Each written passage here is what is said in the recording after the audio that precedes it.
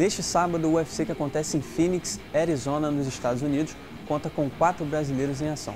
No card preliminar, Cláudia Gadelha enfrenta a polonesa Joana em luta que pode definir a primeira desafiante ao cinturão peso palha da organização. No card principal, Gabriel Napão volta depois de um longo período longe do octógono contra Matt Mitrione, em luta que pode definir aí quem vai chegar no topo da divisão ou não.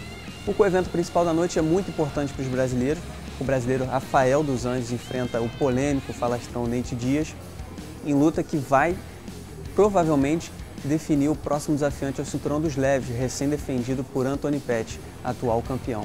Se o brasileiro vencer, ele vai chegar numa sequência enorme aí de sete vitórias nas últimas oito lutas e pode consolidar sua posição de desafiante número um.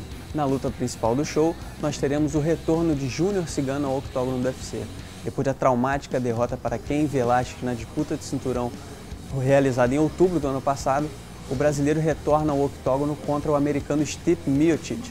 Uma vitória do brasileiro certamente o colocará de volta no topo da divisão, mas Cigano tem que ficar ligado.